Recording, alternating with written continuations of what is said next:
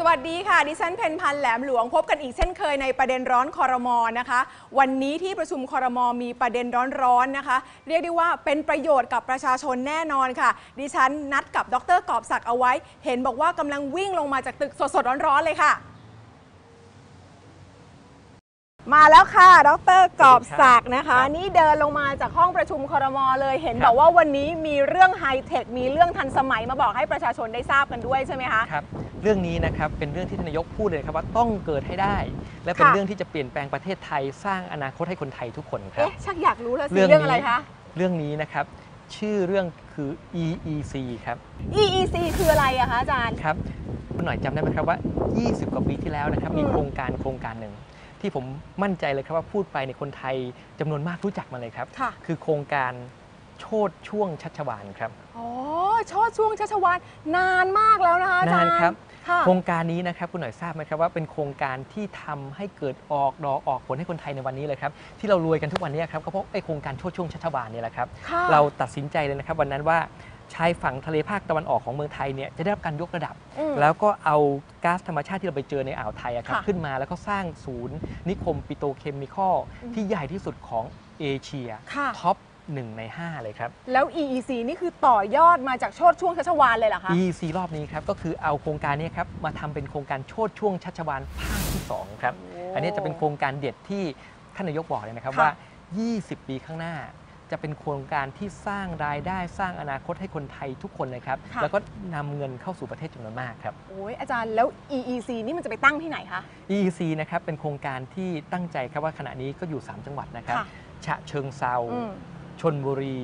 ระยอง สามจังหวัดเนี้ยบางจังหวัดเหมือนจะเป็นจังหวัดที่เขาทำเกษตรกรรมกันเลยครับ อะอาจารย์คะแล้วเขาจะทำได้แล้วเกี่ยวกับภาคอุตสาหกรรมแบบนั้น ใช่ ท่านนายกพูดวันนี้เลยนะครับ บอกว่าพี่น้องประชาชนบอกผมเลยว่า ค่ะ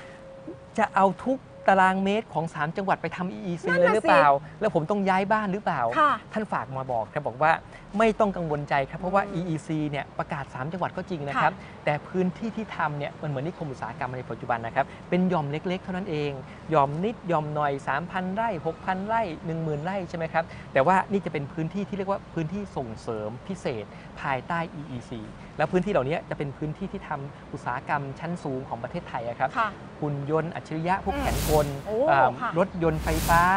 อ่าอุตสาหกรรมการบิน อุตสาหกรรมไบโออีโคโนมีครับค่ะนี่ก็เป็นสิ่งที่เราตั้งใจอยากจะทำอันนี้ก็ตั้งใจเลยนะครับว่าจะเป็นอุตสาหกรรมที่มาพลิกโฉมประเทศไทยออกดอกออกผลสร้างงานให้คนไทย และขณะเดียวกันตรงนั้นก็จะมีพวกอุตสาหกรรมแปรรูปอาหารเห็นอุตสาหบกอรรกม ว่าอาลีบาบาลาซาด้าอะไรนี่ก็จะมาลงด้วยเหรอคะ ใช่ครับ Lazada เนี่ยค่ะ ตั้งใจเลยว่าเอิ่มจะมาทำศูนย์กระจายสินค้าที่ใหญ่ที่สุดในอาเซียนตรงนี้ อืมอันที่2ครับ Airbus ครับ ค่ะ เครื่องบินเนี่ย Airbus เนี่ยตั้งใจจะมาทำศูนย์ซ่อมสินค้าที่อู่ตะเภาที่นายกเพิ่งไปมา อ๋อ ใช่ นายกเนี่ย เพิ่งไปมาเมื่อสัปดาห์ที่แล้วใช่ไหมนี่คะ นะครับไปดูเลยครับว่าจะทำอู่ตะเภาให้เป็นเมืองการบิน ค่ะ แล้วก็เป็นศูนย์ซ่อมอากาศยานที่ใหญ่ที่สุดอาเซียนได้อย่างไร แล้วนอกจากนี้นะครับยังมีผมได้ยินมาก็คือ BMW ครับตั้งใจจะทำเป็นศูนย์ยานยนต์ไฟฟ้าของเขาที่นี่ แล้วก็มีล่าสุดเลยครับ ผมได้ยินข่าวลือมาว่ามีบริษัทหนึ่งจะมาทำลงทุนแสนล้านเลยครับทำอุตสาหกรรมแบตเตอรี่ไฟฟ้าที่ตรงในภาคตะวันออกของเรานี่แหละครับ มีประมาณการเบื้องต้นครับว่าจะจ้างงานประมาณ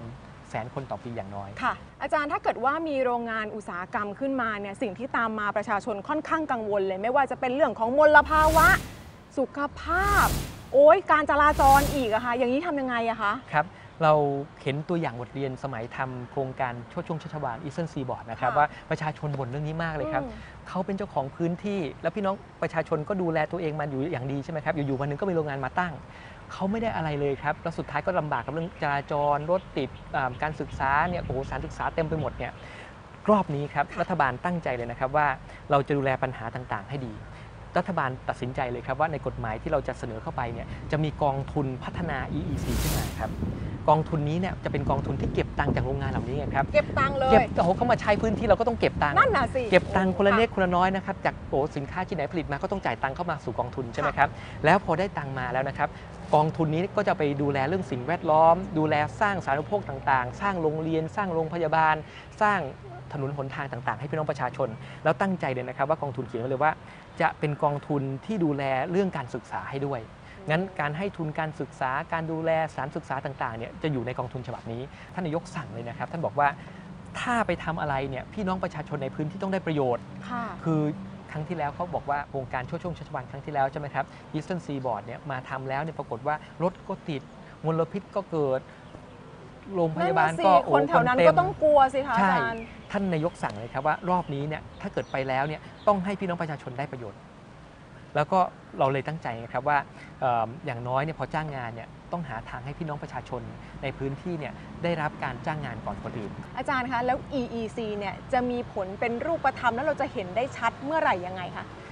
EEC นะครับในขณะนี้เดินหน้าไปแล้วครับค่ะท่านนายกบอกว่าโครงการนี้คือโครงการโบแดงของรัฐบาลเลยนะครับ ท่านตัดสินใจใช้มาตรา 44 ครับม 44 เนี่ยสั่งมาเมื่อ 2 เดือนที่แล้วครับ ตั้งคณะกรรมการ EEC ตั้งสำนักงงาน EEC แล้วในขณะนี้นะครับก็เดินหน้าไปพอสมควรแล้ว แล้วมีโครงการต่างๆ เดินหน้ามาอีกไม่นานนะครับ ภาคตะวันออกจะมีรถไฟฟ้าความเร็วสูง เชื่อมโยง 3 สนามบินครับ ค่ะ ดอนเมือง สุวรรณภูมิ อู่ตะเภาภายใน 1 ชั่วโมงครับ ถึงเลย ถึงเลยที่หลังคุณหน่อยอยู่ชนบุรีนะครับ ไม่ต้องค่ะ ขึ้นรถบัสแล้วครับ วินั่งรถไฟฟ้าความเร็วสูงถึงเลย 30-40 นาทีถึง ว้าวเห็นไหมครับ ชีวิตก็จะดีมาก ค่ะอาจารย์คะ ประเด็นร้อนคอรมอหมดเวลาลงแล้วนะคะ ดิฉัน แล้วก็ดรกอบศักดิ์ลาไปก่อน พบกันใหม่สัปดาห์หน้า สวัสดีค่ะ